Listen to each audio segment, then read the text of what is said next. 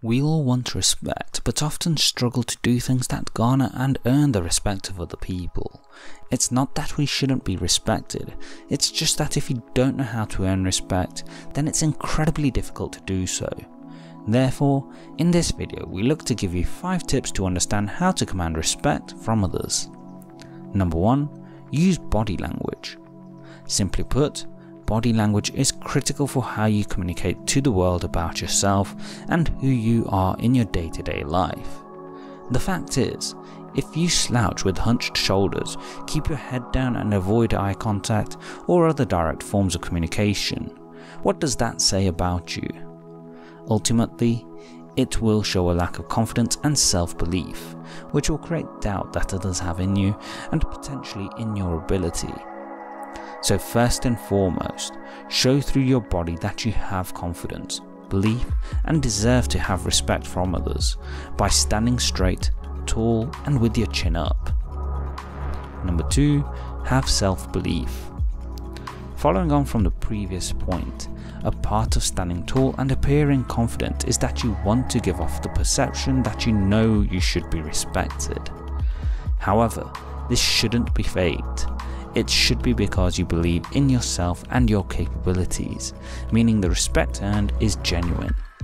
This begins with the process of believing in yourself and your qualities, acknowledging what you enjoy and are good at, as well as identifying examples as evidence of this. As the examples act as references for the belief, making it stronger and more difficult to break down, giving you a real shot of confidence. Number 3 have character. If you want respect, then you need to behave as someone who deserves respect, acting with character, personality, and courage to do this. This means doing what's right and taking on responsibility when necessary to ensure you're supporting people and helping them achieve their goals. Add this to your personality too. Be confident in yourself and your ability, and while you might have occasional failures, you always promise to give your best. How you communicate is critical too in this, as you want to speak clearly and loud enough to make sure you are heard, speaking from the chest to project your voice. Number 4. Fulfill promises. If someone makes numerous promises and fails to deliver almost every time, chances are you won't respect them and people will have the same perception of you.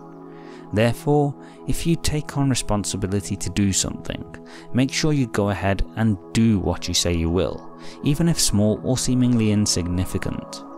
As you show yourself to be reliable and trustworthy, people will naturally respect you more and trust that you can support them when called on.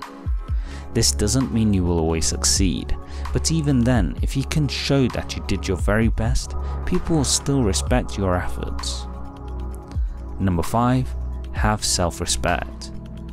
Fundamentally, if you want respect from other people, first and foremost you need to respect yourself and be the person you want to be. This is built by living life by the principles and values you believe in, acting in line with the qualities you yourself respect. In addition to this, you can't just pretend to have these qualities, but instead you need to believe fully and completely that you have them. And if you don't, then it's time to work to make changes in yourself and in your life to become the person you want to be. Do you do any of these and if so, which ones? Let me know in the comment section below. Please like, share and subscribe as we help you live life on your terms.